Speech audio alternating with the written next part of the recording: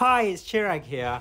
I invite you to join me for this impromptu five minute training session. As I was leaving a friend's house today, my four legged friend Edgar wanted to come out the front door with me. Edgar is a gorgeous one year old Great Dane Cross Irish Wolfhound and he weighs nearly 80 kilos already. It made it really difficult to get out the front door.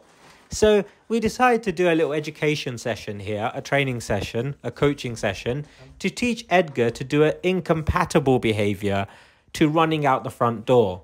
So I asked Edgar to move away from the door and lie down, and I did this using a lure or a food magnet. If you imagine, if you hold a North Pole and a South Pole magnet close together, they attract. If you hold a treat on the dog's nose and you move that hand slowly, you can guide the dog's body wherever you want the dog to go without any force at all. And so I'm able to use a food magnet to guide Edgar into a down position. And then I decide to pay Edgar for that behavior. Because when you pay a behavior, you make that behavior get stronger.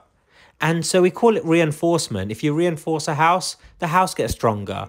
If you reinforce behavior, that behavior gets stronger. It happens more often. It, often. It can happen quicker. It happens for longer. And so if it doesn't happen when I give that paycheck, when I give that treat, it tells me something about that treat. It tells me that that treat isn't a sufficient paycheck for that behavior. So maybe I need to write a different number on that check. Maybe rather than giving one treat, I need to give two or three treats. Or rather than giving a boring treat, I need to give something more exciting. And that's just a fact of life. We get paid to go work, and if we work harder, we expect more money. Same with the dog. And so what we do is we pay Edgar for lying down. I take some steps away from him, and if I take a step away and he stays in that down position, I walk over and I focus on giving positive consequences, treats.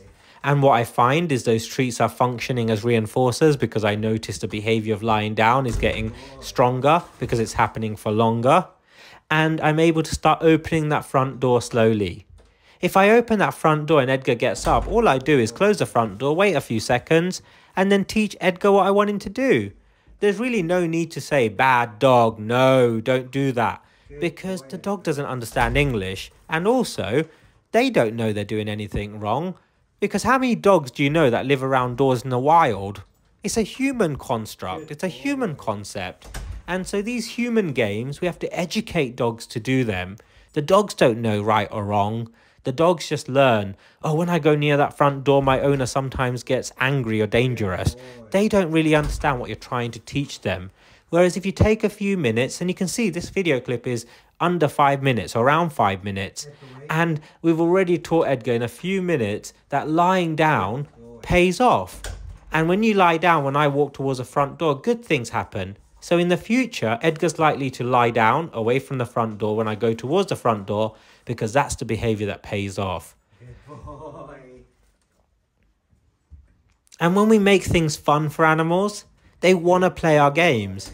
And also, when we don't use force and conflict, what we find is we get less aggressive behavior. It's just like people, when you push their buttons, if you push people around, if I was to grab Edgar's collar and push him away from that door or start pushing him all the time, what I could start to do is shorten that fuse. And with people, if you push people around, at one point they're going to snap. And that's what happens with dogs too. When we push them around, they snap. And so we don't want to do that. We want to focus on listening to the dog's body language, listening to their whispers, and they have no reason to shout or scream. And so Edgar stands up there. I just close the door for a second, give Edgar a moment. And then I ask him to lie down and we do that again and notice how many more seconds or minutes he's lying down for without getting up and how I'm able to open the door nearly all the way.